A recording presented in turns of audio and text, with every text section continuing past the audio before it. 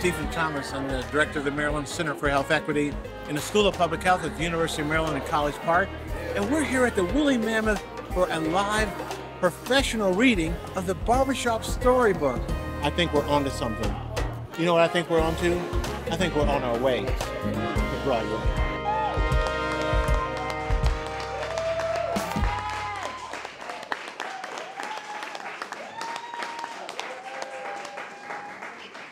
Up, everybody? What's up? Uh, my name is Marcus Ford, and this is Jasmine Mitchell, and we are the co-artistic leads of what we call the Barbershop Storybook Project.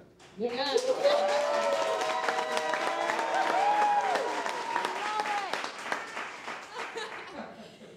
we are so delighted to be here at Woolly Mammoth Theater in the rehearsal hall, repping Woolly. So Jasmine, what's our lead? yeah, yeah. Um, I mean, this theater means a lot to me, so I'm just so excited to be performing in this space specifically. So thank you to all the folks who helped make this space happen and set it up. Um, but the Barbershop Storybook Project is an arts initiative by the University of Maryland School of Public Health and Maryland Center for Health Equity, and that's led by Dr. Stephen B. Thomas, who is joining us.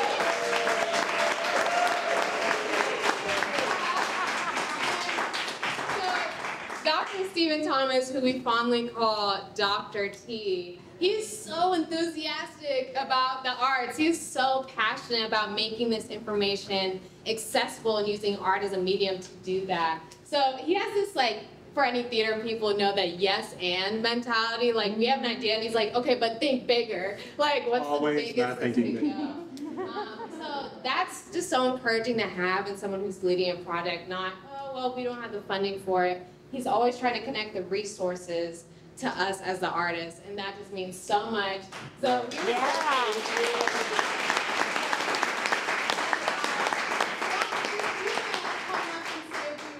love to have your remarks. Yeah. Give these guys a hand.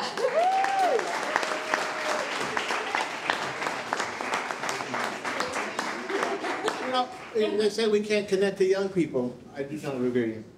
Sometimes the pandemic has a silver lining, silver lining. Earlier today, we actually did a TV commercial with the Baltimore Ravens, and they signed the ball, they signed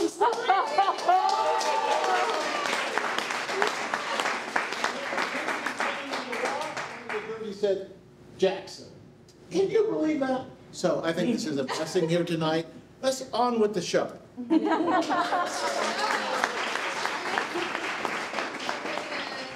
Right into our presentation to give some more context about what this project is. As I said, this is an arts initiative by the Maryland Center for Health Equity and the University of Maryland School of Public Health, and it's made possible by um, Cigna, our sponsor. Um,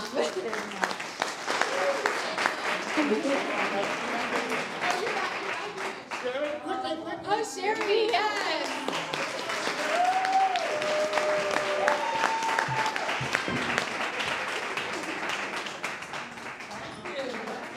You flew in from somewhere and Oh, I you drove from New. Jersey. But no, I just want to say what an honor and a privilege it is to be here today. I actually, I came down to be in Baltimore for this filming of this NFL commercial hmm. to really highlight what we're doing in the barbershops. It is amazing work, and I, I got to see firsthand. We have a, a hairstylist was with us today. Raise your hand.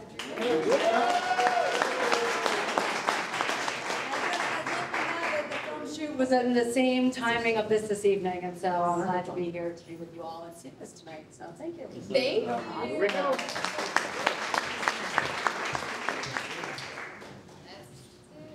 So we're gonna jump right into the background and how we got to this point today. We've been working with the University of Maryland since last November to develop the first two books and onward for a group of seven books. Um, They all take place in PG County. I mean, actually, I mean, we kind of have a script, so maybe I shouldn't go off script. No, go ahead. Okay. Speak from the heart. Speak from the heart. So.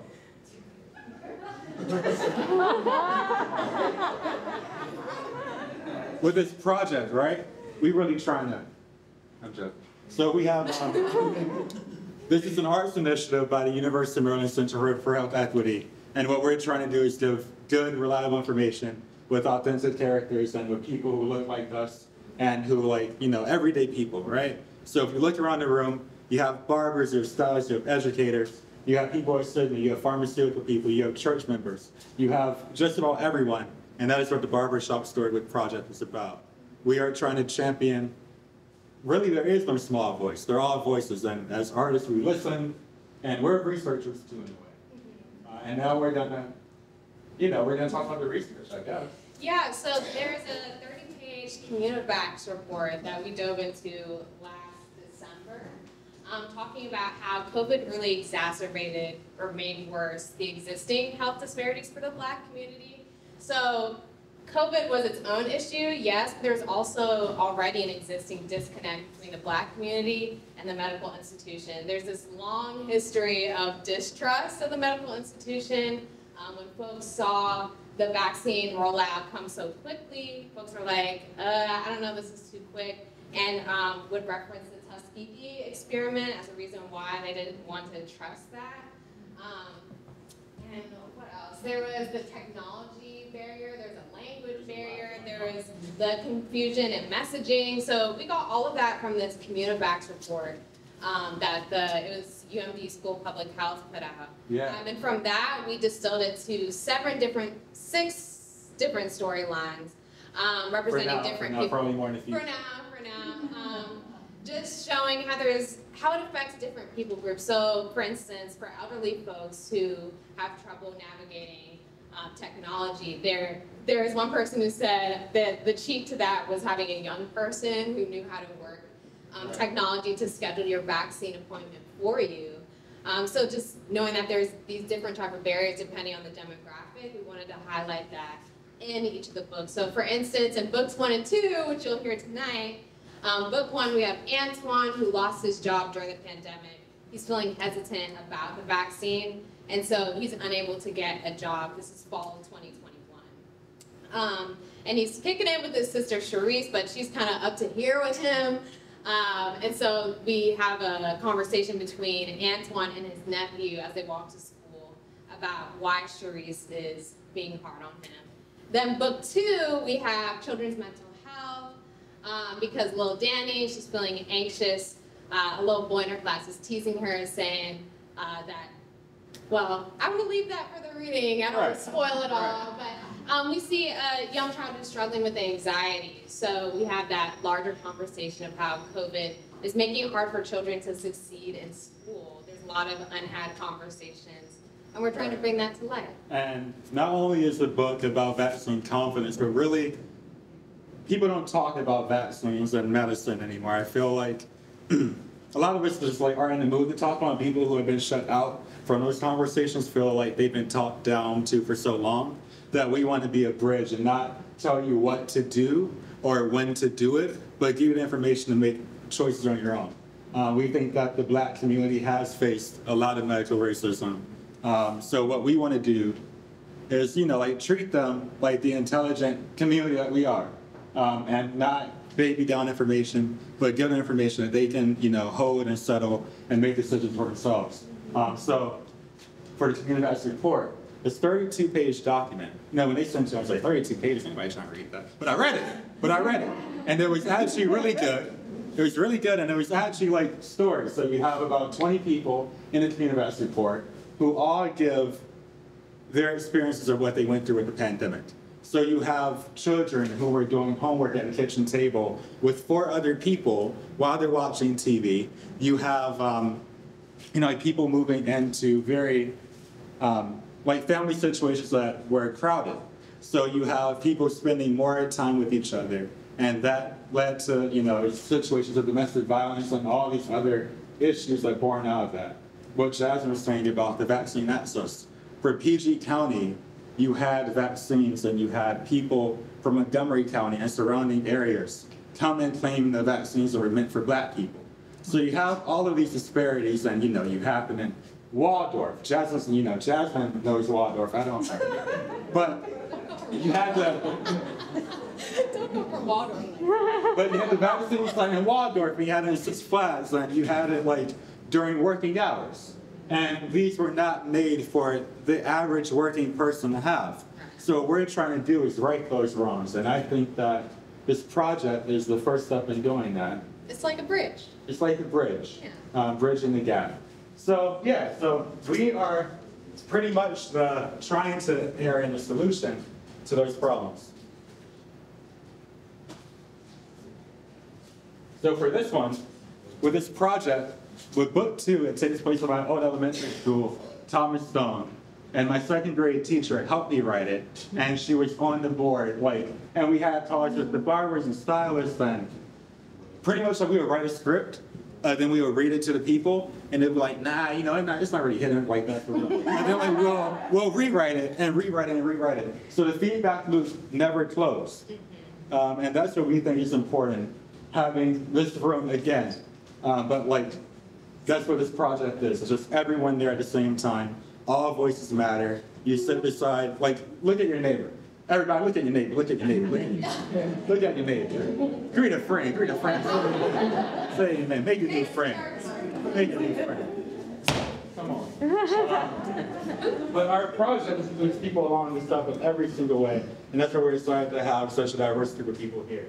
So right here, we have a series layout, which, Jasmine, where, where, like, where's my screen? Talk to me. What's on the screen? Yeah, where's my screen? So we have book one, the Jacksons, as I mentioned, Antoine, who lost his job for the pandemic, taken in with his sister Sharice. Um, we have book two, which is called Mrs. Castillo, Counselor Castillo, um, who is comforting little Danny, who's experiencing anxiety.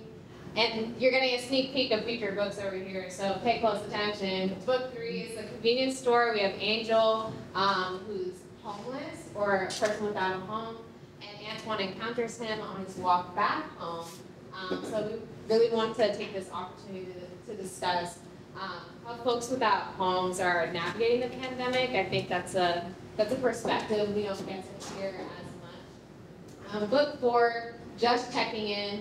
We have um, Earl, who is in his 70s, and he lost his friend during the pandemic, so discussing themes of grief and loss and his uh, lost friend's son, who's a pastor, comes by with groceries and they start a conversation about the booster shot. Book five, working mom. Um, we have a nurse uh, who recently got COVID and she's in quarantine, and her boyfriend, who has to work even through.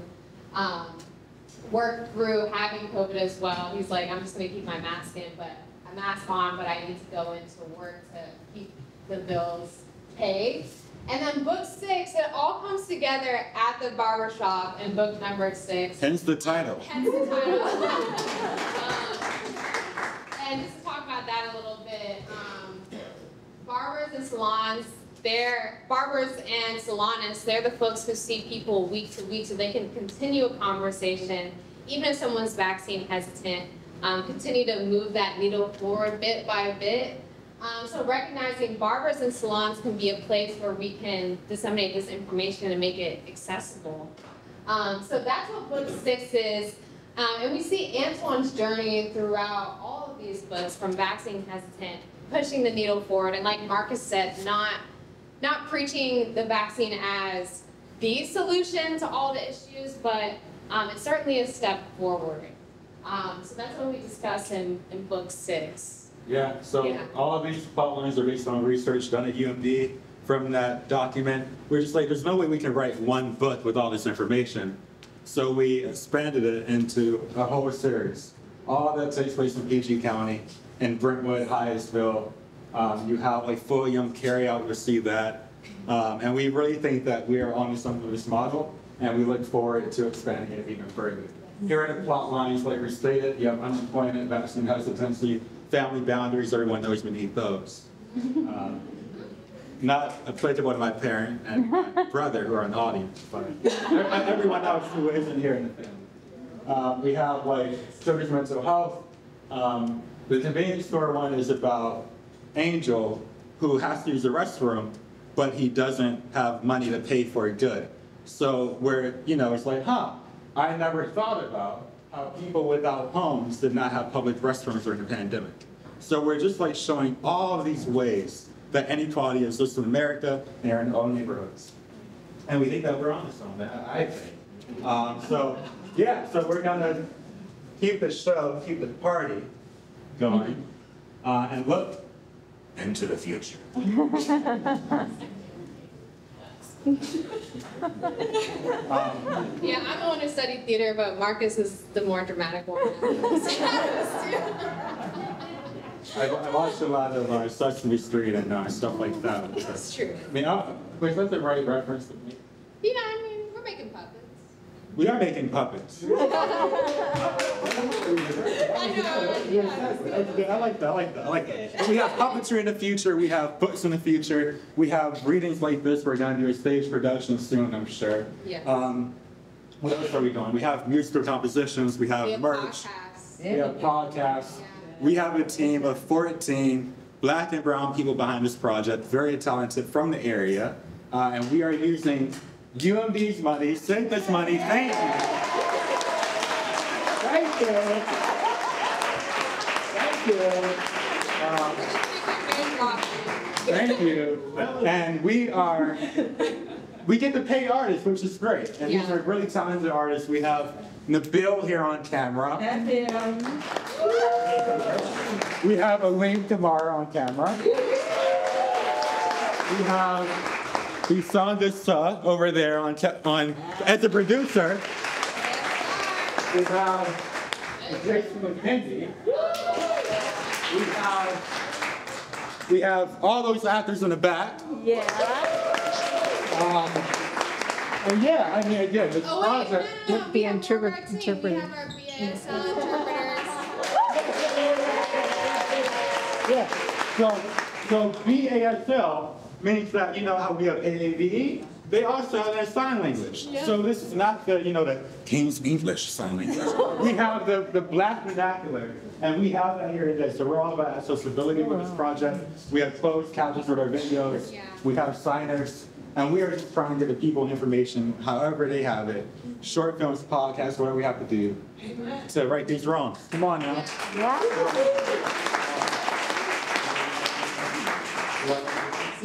Okay, so I think that we are about ready for our books one and two reading. Let's,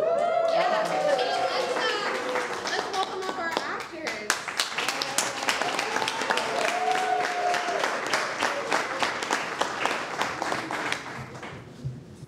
Thank you, actors. Of course. So what you're about to hear is book one, which takes place with um, as characters Antoine and Charisse who live together. They have a little disagreement, and you have uh, their nephew, or rather, Antoine's nephew Anthony. He walks in the school. And in book two, you have the Comes from Lucia, which deals with children's anxiety. Um, for this reading, you know, I mean, like if you feel like laughing, laugh. Um, if you feel like, hmm, why do you say that? You know, like say, like verbalize. You're here too. I don't believe that audiences have to be quiet. We want this to be fun. Uh, we are a barbershop storybook project, and Katrina, you can probably co-sign that barbershops are not quiet. Salons are not quiet. So let's have that energy. Yeah, so you're like, why do you Yeah, say that? give He's us some- tripping. some She is response. tripping. Oh, what? Amen. For- You know, like, wh- wh- like whatever you want to do. Um, have fun. We're having fun. We're having fun. Thank Uh, you. Thank you. So without further ado, without further ado, the barbershop storybook project books one and two.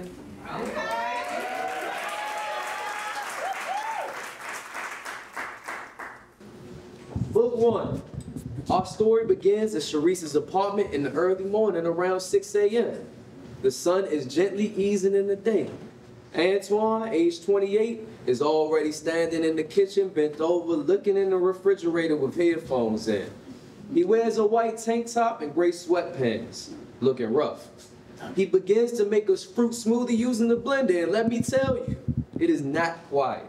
He does push ups while the smoothie disrupts the peace. His older sister, Sharice, age 34, enters the kitchen, already dressed for work. She looks down on Antoine, who was on his 18th push up, and shakes her head before taking the bacon, eggs, and bagels out the fridge. Antoine finally gets up and takes out his headphones. Sharice reaches for a bowl and doesn't bother turning around. Whew. Mom. Morning. You making that turkey bacon right away? He just knows he's getting some. Sharice begins making eggs and puts the bacon in the microwave. She presses the add 30 seconds button three times. Yes, me and my son will be eating turkey bacon. Yes. Come on, Reese. You can't make me in. You know I'm hungry. We fine. Boy, you are not eating up my fridge. You follow up with Nisi about that job? See, you always focus on the wrong things. I did. It's not for me. They require a vaccine. Antoine pours his smoothie into a cup and takes a sip. He has a milk mustache. Yeah. So, It means I'm still looking. Swan, look. You gotta take the job. I can't float you forever. Just get the vaccine. I don't know. I'll think about it. Just give me two more weeks to see. Two more weeks. You said that four weeks ago. You know what? I'm glad you can count. The smoothie misses Antoine's mouth. Some of it gets on his sweatpants. Dang, man.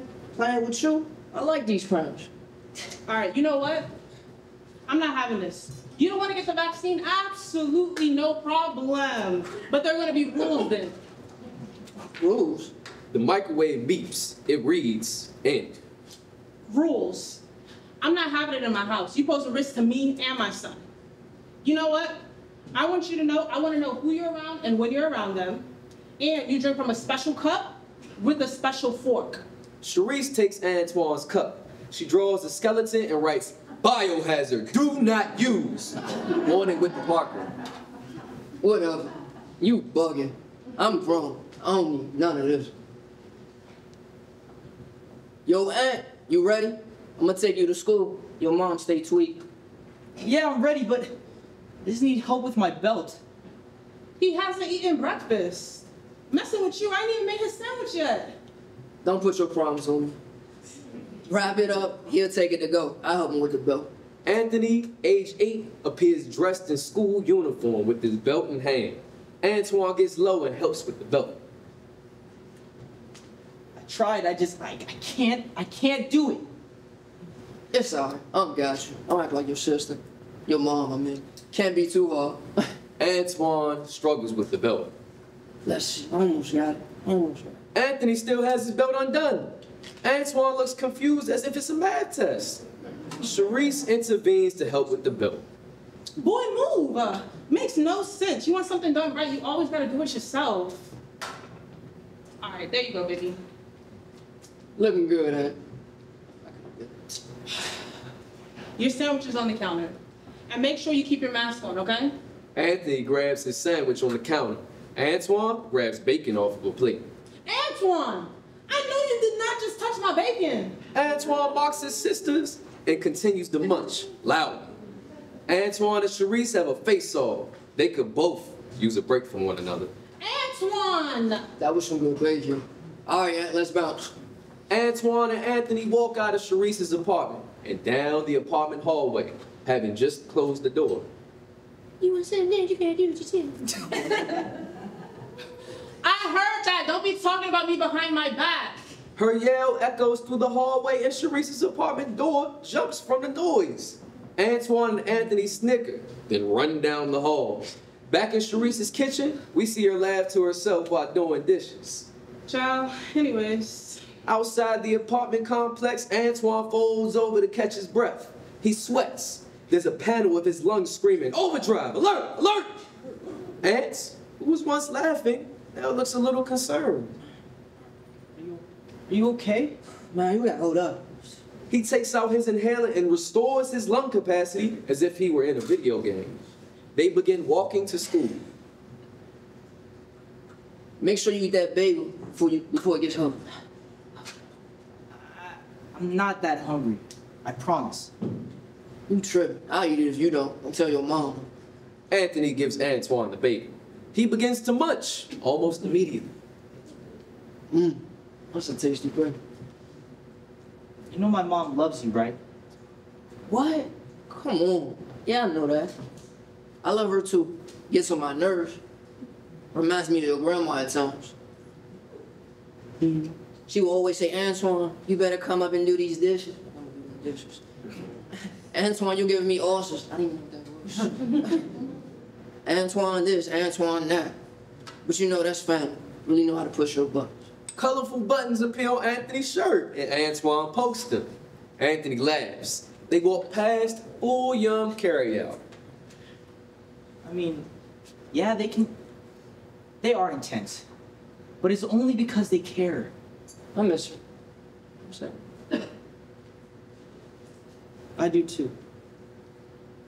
see, my thing is, I just don't like to be told what to do. Yeah, me neither. What you mean you don't like to be told what to do? You better do what the teachers tell you to do and what I say do. I am. I promise. They arrive at the stop sign just before the crosswalk leading to the school. All right. Now let me find out. Dang, I sound like your mom in that wrong. Yeah. A crossing guard blows her whistle to hold traffic. Antoine and Anthony hold hands and walk alongside other kids, parents, and caretakers towards the schoolyard. The ants arrive near the entrance Thomas S. Stone Elementary School. Still standing side by side, Anthony looks up at Antoine. Uncle Len, Yeah. I like having you around. You're so funny and I, I love our walks together. Antoine gets down and rests his hand on Anthony's shoulder. See, I don't know what you're trying to pull, but I ain't with all that sentimental stuff before school. I wasn't really trying to do none of that. But I love you too, Ant. Go on ahead. I'll see you later, all right? They hug and Anthony runs into the school. Inside the school hallway, there's a sea of children walking. Counselor Miss Castillo, age 32, stands in the lobby area, area greeting students. Morning. Good morning, Anthony. Another male parent stands in the school entrance doorway next to Antoine as they watch the kids enter.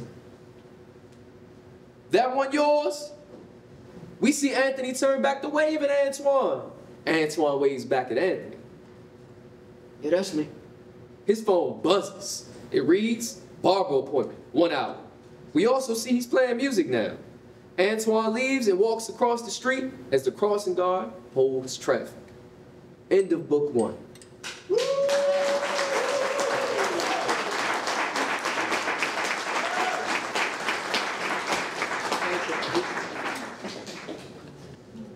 Book two. In the school hallway, Miss Castillo, the school guidance counselor, stands donning her yellow dress, wedges, and a mask to match. A herd of students make their way to class in the background. Anthony dissolves into the sea of students. Good morning, students. Have a terrific Tuesday. All right, Theo, make sure to head to breakfast so you can get to class on time. Miss Moorfield, early 40s, helps her daughter Daniela, 8, exit the car. They walk from the parking lot and towards the school. All right, baby. You got everything, right? Yeah. Okay, don't drag your feet because we're already late. Come on. I'm not. Danny and Miss Moorfield rush into the school and approach Miss Castillo. Hi, Miss Castillo. It's, it's Castillo, right? Castillo, but yes. Good morning. Uh, you must be Mrs. Moorfield.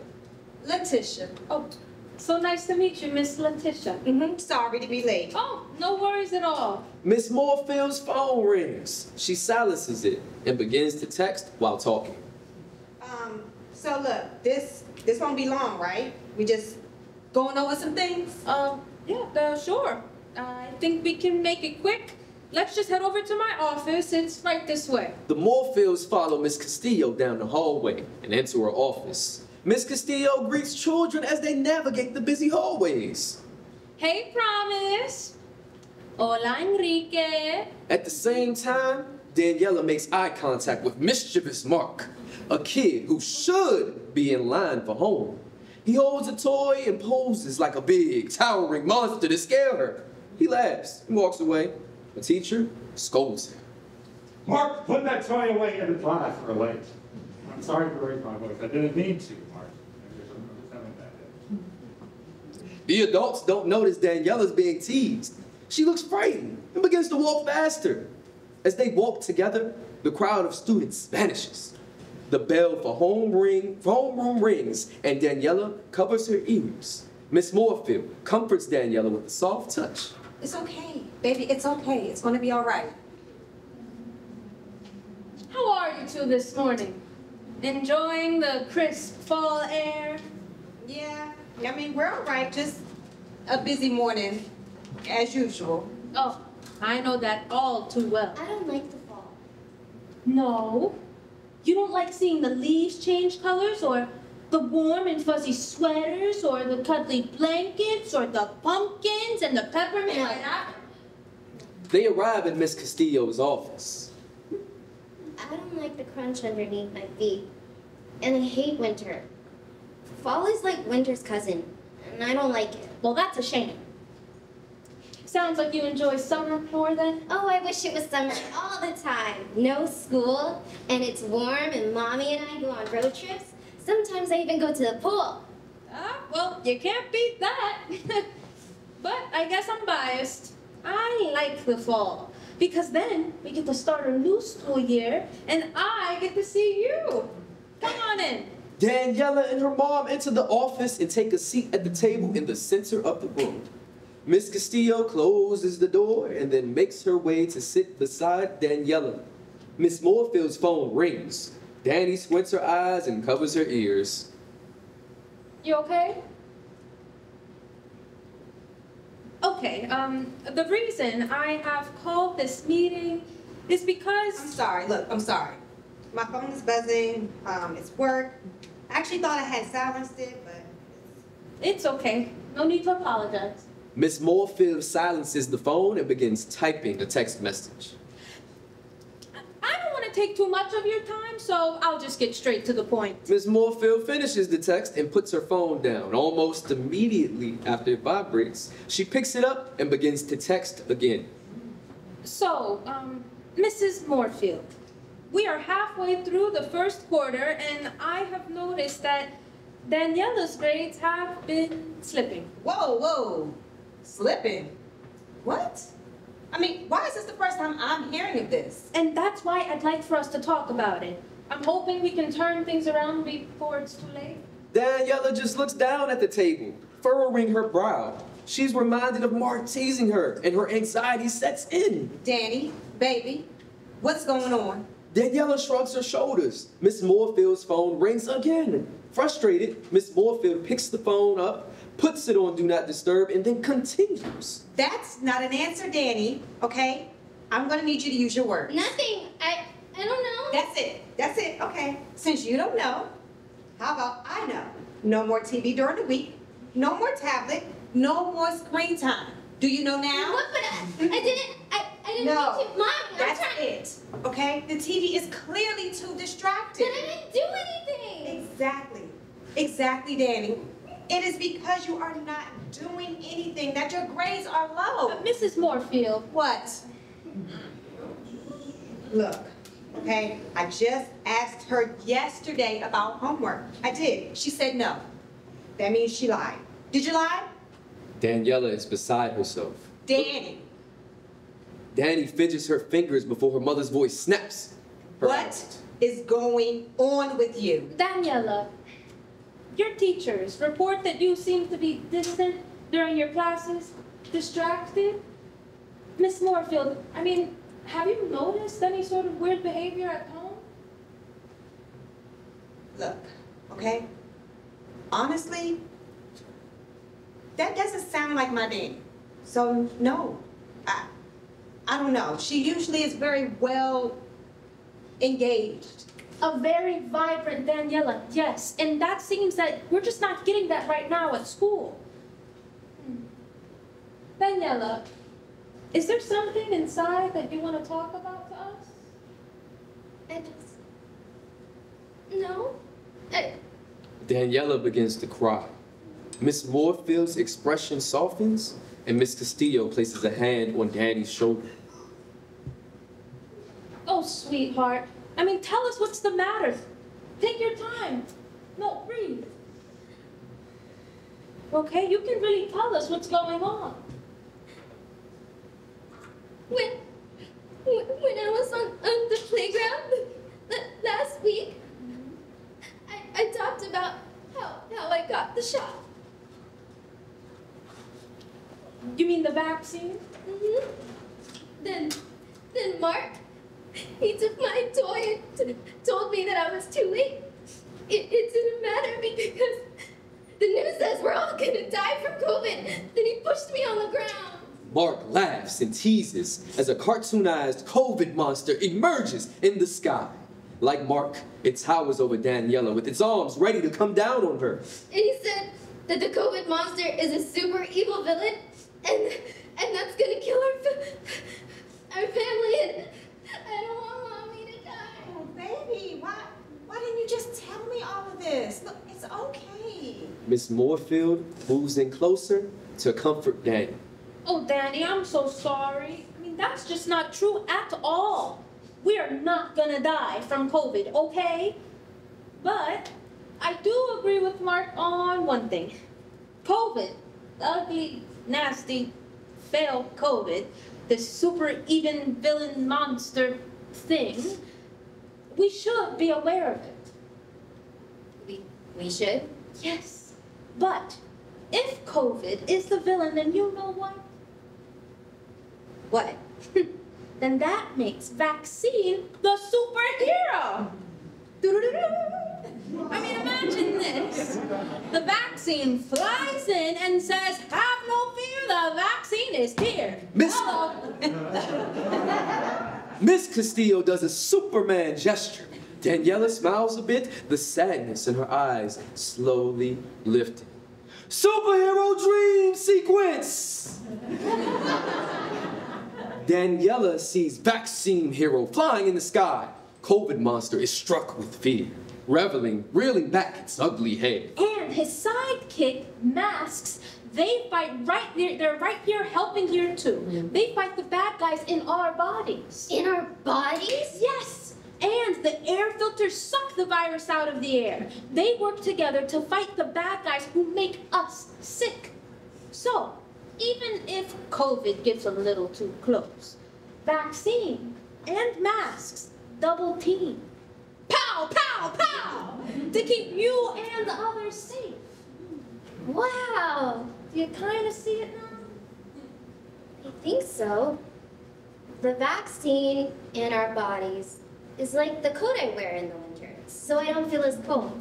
That is an excellent metaphor, sweetie. I agree.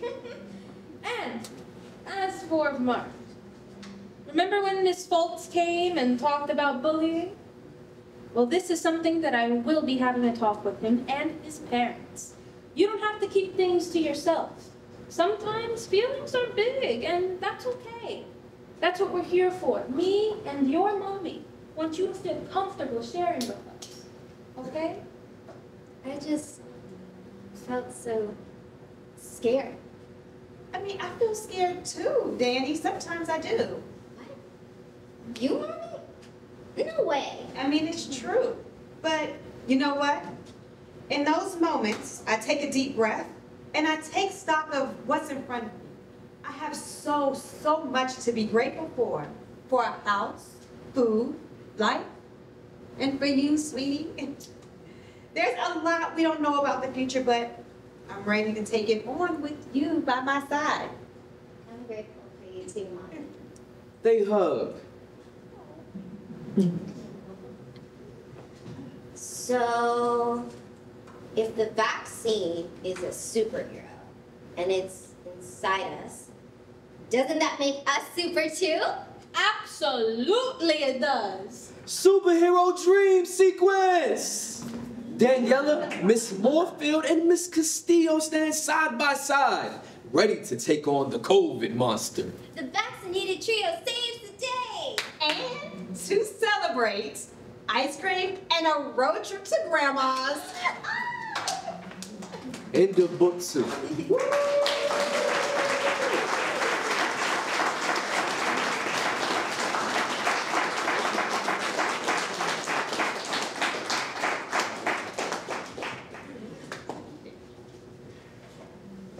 Yo, that happened. yeah, I have to give a huge thanks to our actors.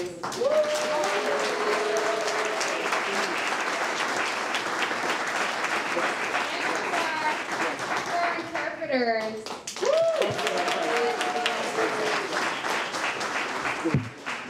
um, you all can, well, we're gonna do a talk back, right? Marcus, what should we talk? We are. I think that we should know who these actors are. Oh, of course. So their names are on the program, but also let's introduce them. So we have Selena, we got Jason, Lorenzo, Nina, Donita, and Jamie. We have Duran and Cynthia.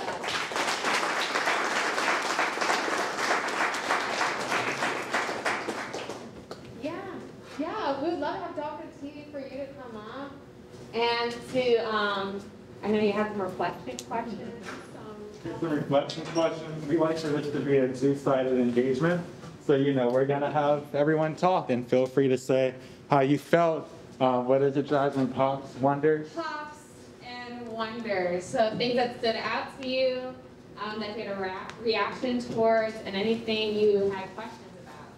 Yeah. What pops, what do you wonder, and what if we had unlimited resources? Now, listen to the.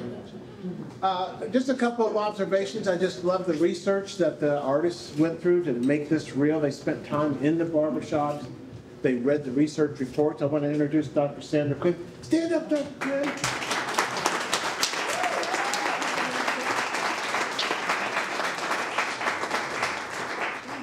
She keeps the wheels on this ship moving forward, all right? So, And the chief investigator to the Communivax, what'd you think, translating the science into what you just saw tonight? You know, every week I hear, well, not every week, probably every day I hear about this. But seeing the actors and means it comes alive and there's so, you know, the pandemic at times felt so big and everything felt so inter- insurmountable. And what they captured were really the feelings and the human side of what has been happening to us. Here's one lady that knows for sure. Miss Rita Miranda, who is one of our stylists, who's been on the front lines. Yes.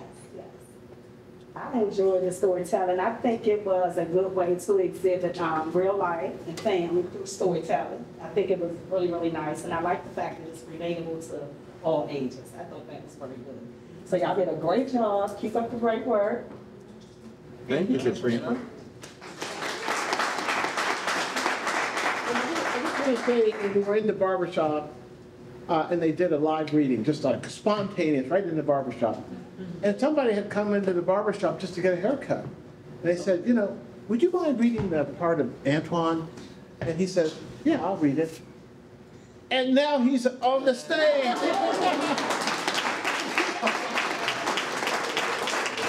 So Antoine, real quick for you, sit in the barbershop, read, and now here you are, putting a heartbeat on Antoine. What was that like for you? All right, y'all. So y'all don't gotta call me Antoine. Y'all can just call me Twan. Less informed. Feel more comfortable with them. Uh, and I guess I was just in there. Came from moving. They were doing their thing, and I was just trying to mind my business as I do at a lead level. and he was like, "We need somebody to read, and who better than me, right?" So they asked me. I did it. I guess they thought I was good. Now I'm in. I mean, what did we think, boys and John? And John? Or what? And just one more piece, because this work comes out of uh, uh, research that was funded by the National Institutes of Health. First barbershop work began in Pittsburgh. We brought it here to Maryland, and it's coming out to this far. Cigna's been with us the whole way. I want you to know what the long-term investment looks like. So we literally have our project officer from the National Institutes of Health. He's now retired, Dr. Derek Tabor. Come on up, Dr. Tabor. Come on.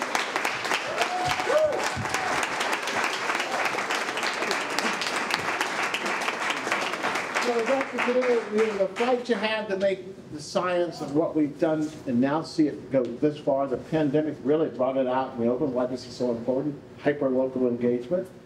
I gotta know, what popped for you, my friend? First of all, these words are my own and have nothing to do with NIH. what pops for me is the youth. It's just the fact that we have all these young people up here telling this story that hopefully will translate to people getting shots in the arm. So that's what pops for me. I did have one question. Did I hear Superman or Superwoman? Superwoman. I'm like, I heard superhero. I think, I think that's really good. I really like it. Now, throughout the books, uh, even when you had the scene about the belt and you saw like a math problem, that's real calculus. So throughout the book, we sprinkled STEM themes. And when the kids find those STEM themes uh, on the interactive website, they would get like a prize and, and something that you could discover along the way. And there was Marcus with the whole gamification strategy in the books.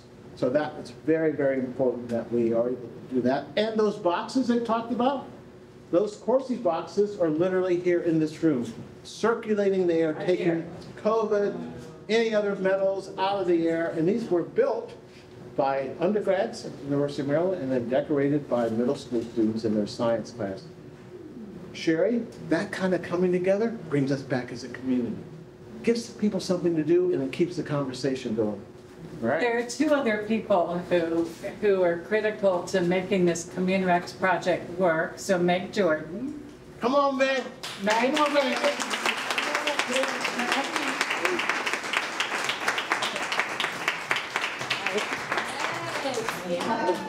So these are staff in our Center for Health Equity that have shepherded this project. Maggie was on, on point, Meg's, Meg's our conductor.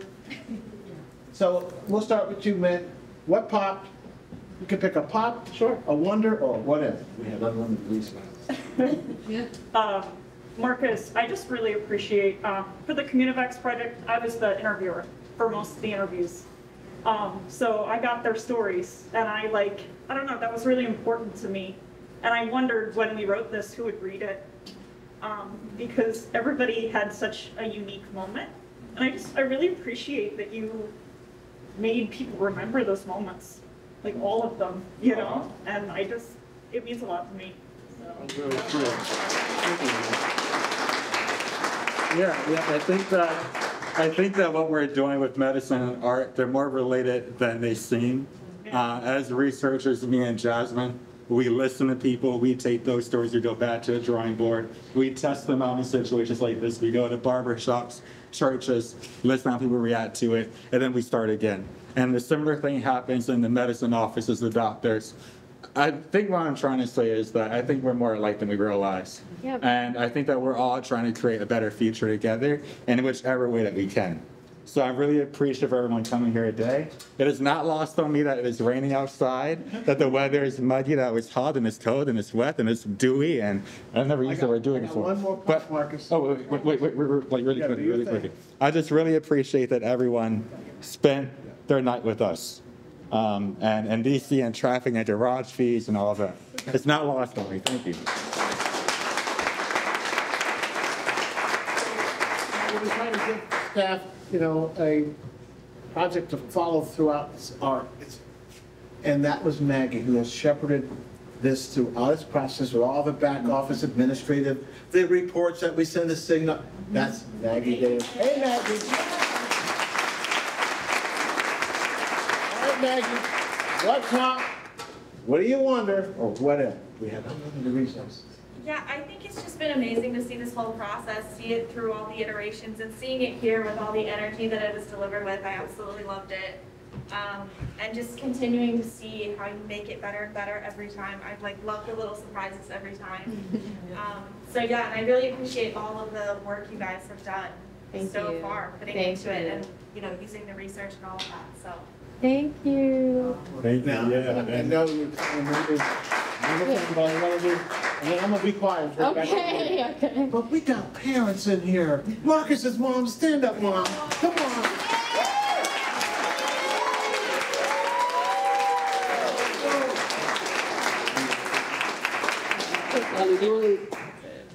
And, uh, uh, have I missed anything? No, I think you hit everything. Do you want to give Cigna a moment? Come on up here, Sherry. Moments. Come on. Again?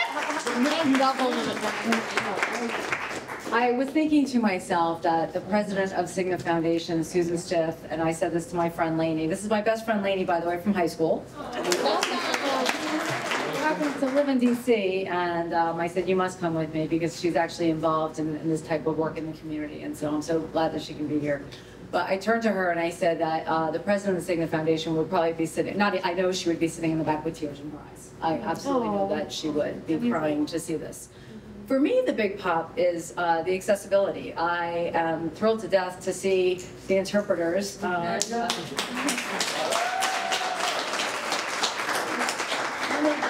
One of my roles at Cigna, I'm on the leadership team of our um, Enterprise Resource Group for People with Disabilities.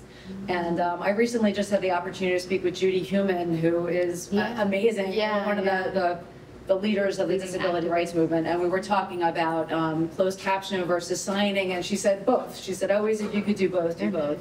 Um, So beautiful that you're doing this, because I can only imagine also that with people who have disabilities, the challenges that they must have been facing during the pandemic Yeah. would be on a whole nother level. And so to make this accessible to everybody is really just great. Thank Thank you you. Thank you.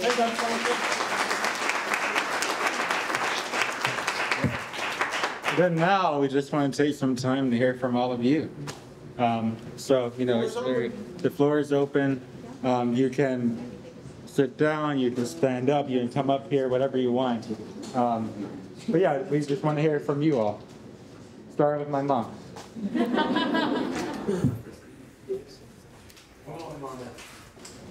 I'm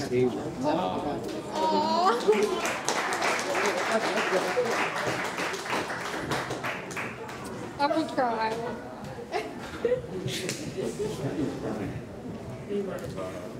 I'm proud of all of y'all. What's that about? you. Come on. I'm proud of all of y'all.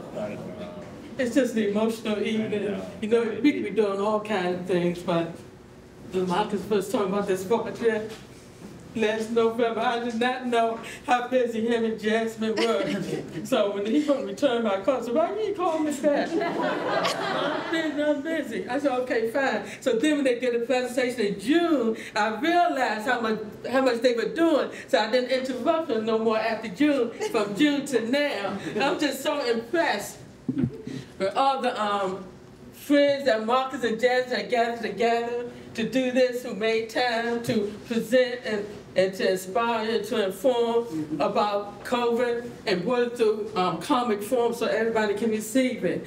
And I'm just so thankful to Dr. T and all the staff. Yeah.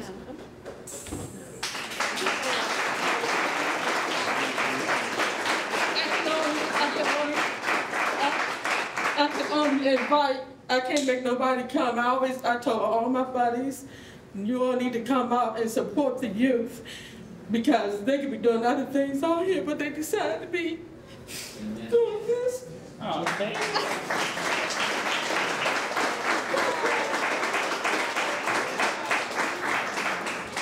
Thank you all again for coming out.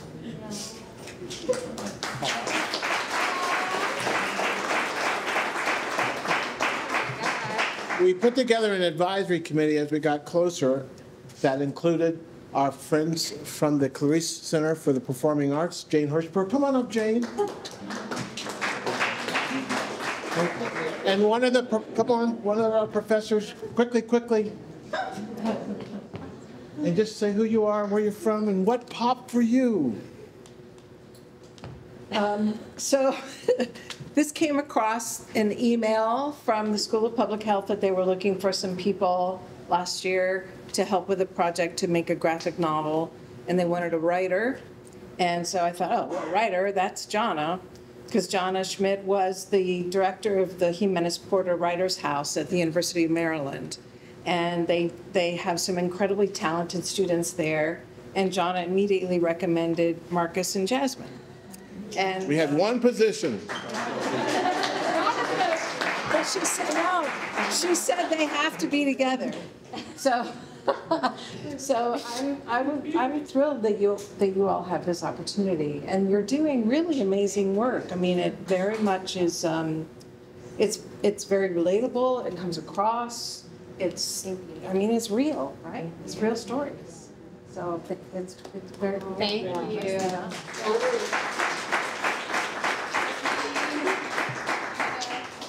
Oh, you guys make it look so easy. It's so hard. I mean, I'm just, the writing is so amazing on this. It's, it's got the details. It feels real. It feels like effortless, the way that you put this together. Mm-hmm. And the art too, you just, you don't go too hard on things. It never gets like overly like melodramatic. It all feels very realistic and it, it pulls you in emotionally. It's just so effective. And the, the art, I'm just so blown away because I didn't even know that you had that skill. And it's amazing. Yeah, all this art, So it's beautiful. It gets more beautiful every time I see it. The details just keep on adding, and I'm, I'm just, I just love this project, and I'm so glad that you guys are doing it. Thank you. Yeah, thanks for getting us on it. Broadway bound, Broadway bound. Zakia, can we hear from you? I'm gonna hear from Yo, what's up, Zakia? Okay. Hello, everyone. And then Mika, Mika, you, you're next, please. Thank you. My name is Zakia. I'm a friend of Marcus and Jasmine. Uh, man, I feel like this whole time I'm sitting here thinking about what everyone was saying. Um, so plus one to everything that everyone said. Um, I was trying to internalize it for myself. And I think what's so remarkable about this, and someone I think said it already, that is super relatable, but I think you guys chose the right space and symbol to like tell, tell this story. Because a barbershop is literally a community space where you air out everything from pop culture to black history to your business, your family life, and different things like that. So it's just Mhm. super incredible that this is the um, the point in time and kind of like the the community where you guys are sharing this story Mhm. because it's just it's the most inviting space for this type of conversation. So that part in itself just kind of blows me away. Um, Jasmine and Marcus, like you guys are extremely talented. The art, as someone said, it gets better every time I see it. So definitely um, kudos Thank to you you. all there. But overall, just really glad that there was this much engagement with the project. I mean, I don't know the last time I got to listen to a story and like see that much interaction and people like doing stuff like this, you know what I mean? So it definitely brings out the story and it makes everything in the novel pop even more with that um, interactive element. Um, so yeah, you guys are doing a really good job. Um, I can't wait to see how this evolves and expands across the DMV and even beyond that. So um, good luck with everything and um, yeah. Thank you. Thank you.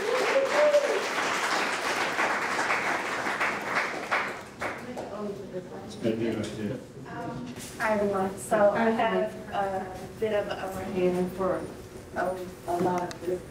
I'm a- I'm an artist, a nurse, and a wife of a writer, so um, I get all, all. Um, I worked throughout the entire pandemic, I held people's hands if they died, I had to explain to people the importance of the vaccine and making sure that you are protecting yourself and your family, your loved ones. Um, and dealing with the disparities of just the African American community, the Hispanic community, everyone that's at a lower, lower class, and it's more difficult for them to get health care or for them to have insurance coverage, to be able to have a family member in ICU or hospice, their dying days, and no one will be with them. And um, so seeing this is amazing. I've seen all aspects of each and every one of these people, It's like every single person in book one and two, and I'm waiting for the other four and more. Yeah. Um, every single one of these people I've been able to encounter and see, and the fact that you were able to make it so well-rounded that everyone and anybody that read can understand it, that's the biggest thing in healthcare, is that you can make sure that somebody that is on a third grade reading level can look at it and say, I know what they're talking about. Right. That's it, that, this is awesome. Thank you so much, Nathan.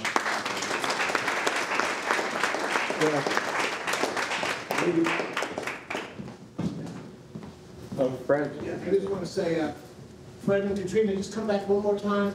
And Dr. Cooper, quickly, quickly. Our our barbers and stylists have also been trained in certified community health workers. There's Fred Spry, our lead barber.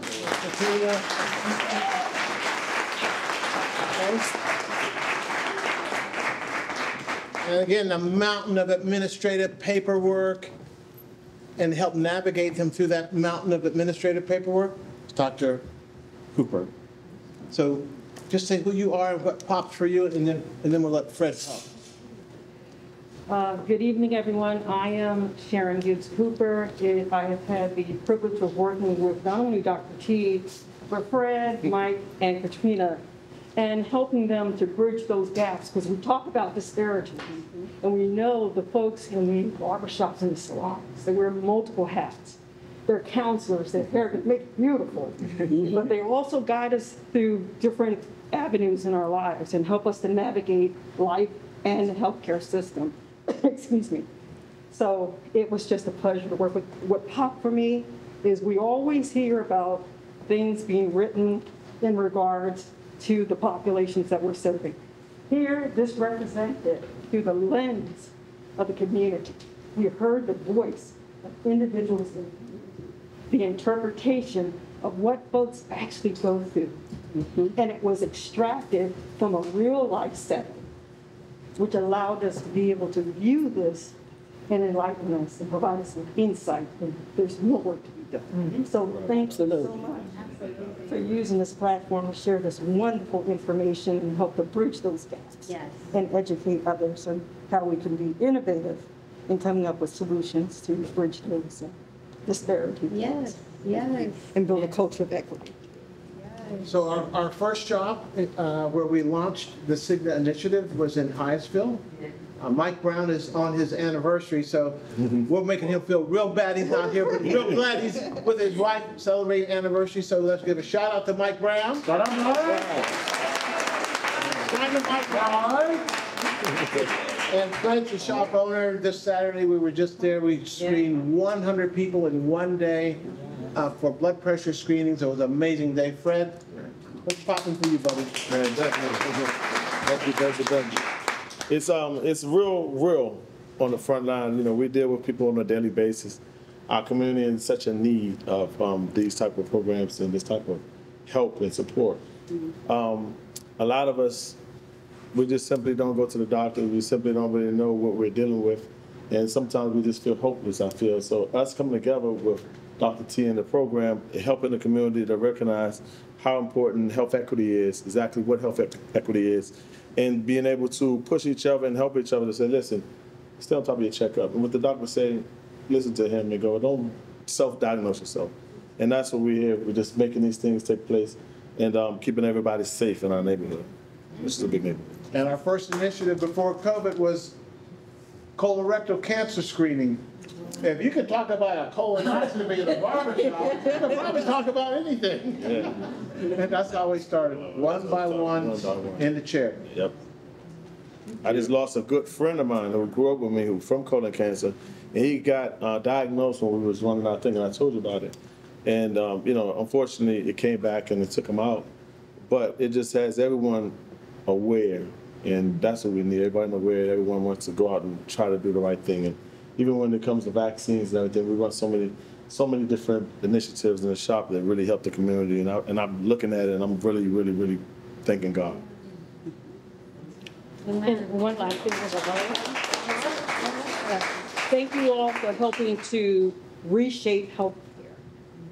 And this is all part of that reimagining how we're going to deliver the healthcare in non-traditional uh, locations throughout the community, because you're bringing healthcare to the community and instead of making the community coming to the bricks and mortar. So we talk about access. So this is the key to making that happen, and bringing it to fruition.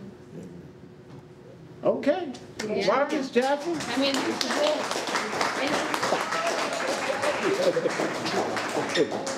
Oh, Thank you so much. I mean, you said it. The whole point of this project is engaging our community in a way. um, what's going?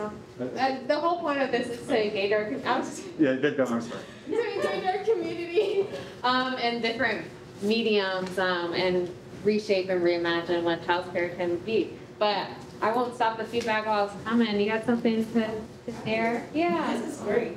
Um, you engage the audience, um, as Marcus said in the beginning, and even in your, um, in the books, we as black people, we don't talk about medicine or health, anything like that. My grandmother was ninety-five when she passed away, but she did not go to the doctor. She said she had, her oldest child is fifty-seven today, but she hadn't been to the doctors when, you know, since she had her last child, which was number fourteen.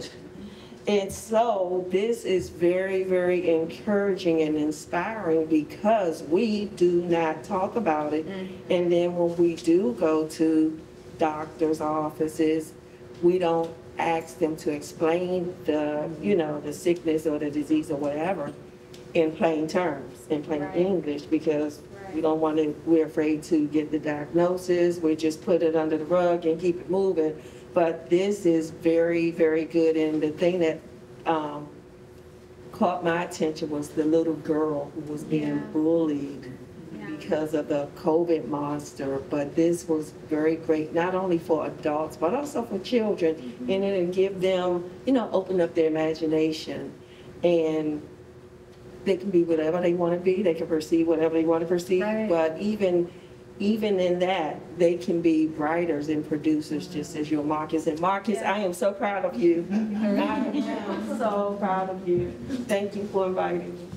Thank you for being here.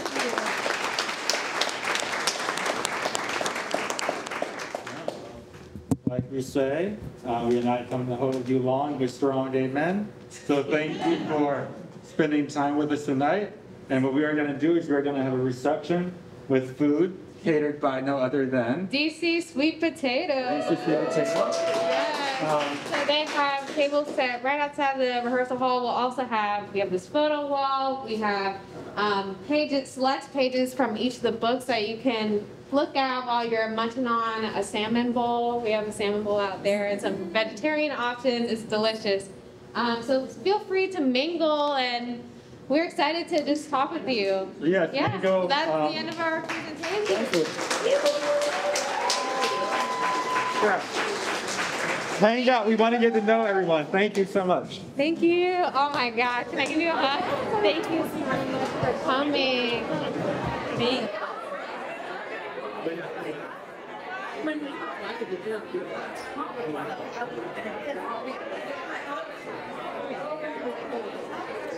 I